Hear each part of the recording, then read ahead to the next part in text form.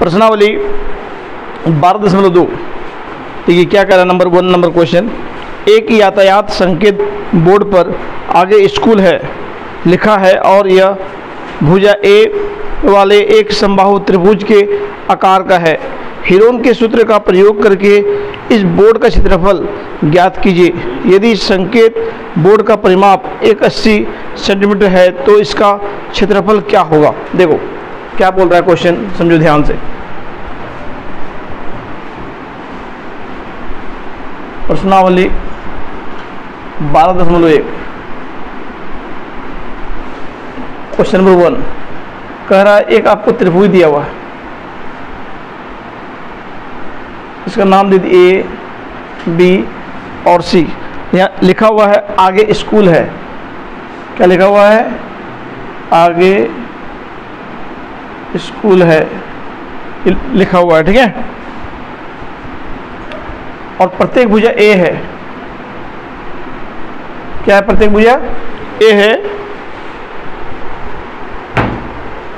देखो तो क्या करेंगे, सबसे पहला काम? जब प्रत्येक भुजा ए ए है तो इसका निकाल लो, परिमाप पहले, निकालो।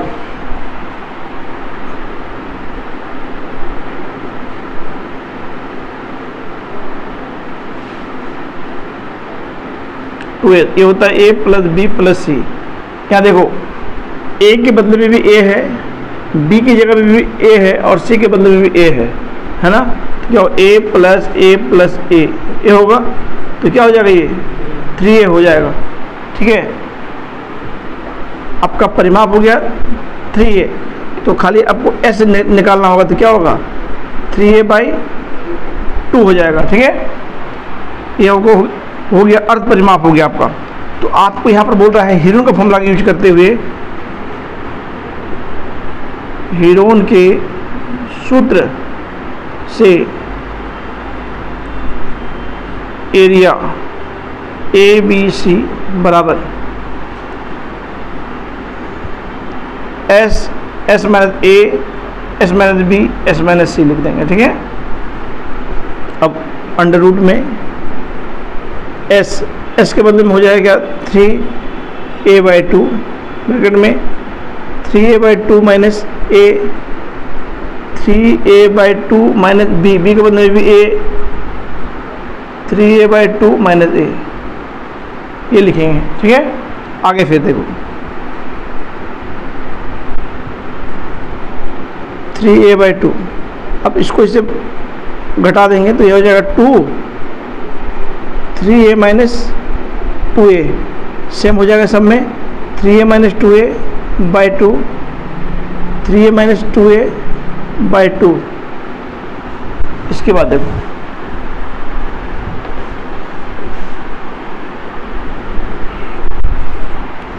क्या हो गया?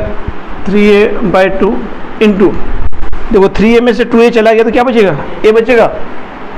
ए बाई टू यहाँ भी ए बाई टू और यहाँ भी क्या हो जाएगा? ए बाई टू ये होगा ना? अब ध्यान दो, यहाँ पर। अब जोड़ा खोजेंगे। देखो। Three A by two three by दो बार है। तो यहाँ ए बाई टू इंटू दो बार है। ए बाई टू थ्री का कोई नहीं है जोड़ा तो इसको लिख देंगे रूट थ्री ठीक है? ये फॉर्मूला क्या हो जाएगा? Root three A into A A square और देखो, यहाँ पर दो दुना कितना होता है? चार। तो ये फॉर्मूला बन गया root three by four A square. ठीक है? ये क्या हो गया? ये आंसर हो गया। फिर कह रहा अभी, मान लीजिए, बोल रहा है कि इस त्रिभुज का परिमाप 180 सेंटीमीटर होता।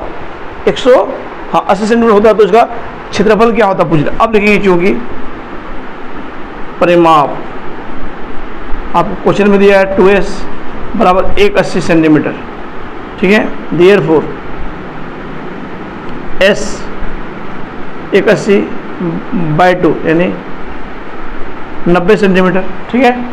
है ना जी अब चाहेंगे तो क्या करेंगे? इसको फॉर्मूला से भी बना सकते हैं। नहीं तो एक बनाने का और एक तरीका है। देखो, बता रहे हैं। अब ये लगो ए, ऐसे लिखो।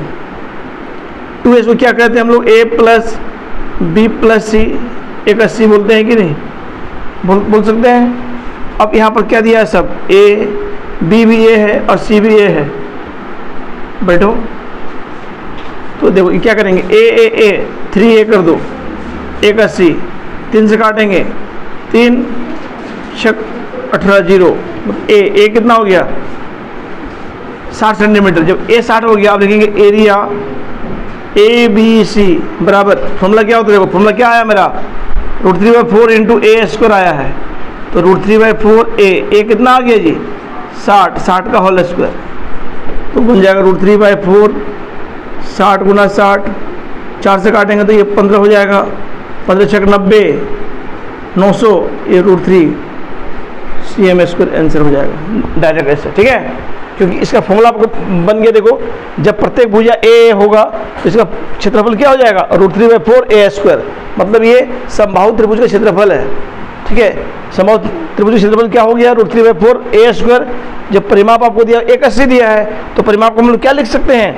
A plus B plus C एक अस्सी और ए ए है बी बी ए है सी बी ए है तो थ्री ए हो गया तो एक अस्सी तीन से काट दिए।